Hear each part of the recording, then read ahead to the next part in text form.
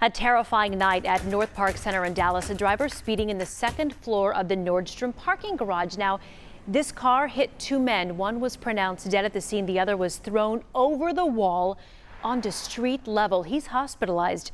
The driver also critically hurt. The accident is under investigation.